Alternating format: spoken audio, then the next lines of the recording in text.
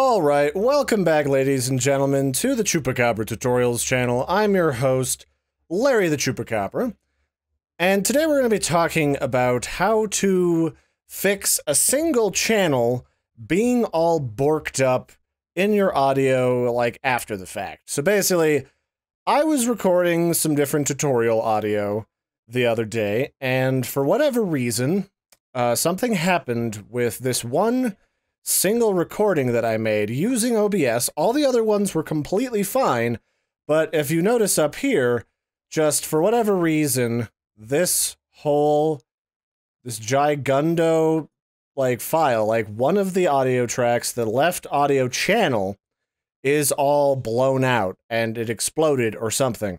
The right channel is just fine, and the tutorial that I recorded just after this one had no trouble at all. So sometimes what happens is you get a glitch when, especially when you're using software recorders, and this type of thing has happened. It's happened to me a couple times before. Uh, it's weird, but it's not something that you, it's something you can pretty easily fix. So basically what I'm going to do is I'm going to go up here to edit. I'm going to go down to convert sample type, and I'm going to convert this whole sample into a mono sample. So I want the sample rate to stay at 48,000 hertz. I think the general consensus is you want it to stay the same rate as the original while you're messing with it. And then I want to convert the channel not to stereo, but to mono because it's already stereo, although I could convert it to surround sound if I wanted to. But first I want to convert it to mono. And to do that, I want it to use all of the right channel and none of the left channel.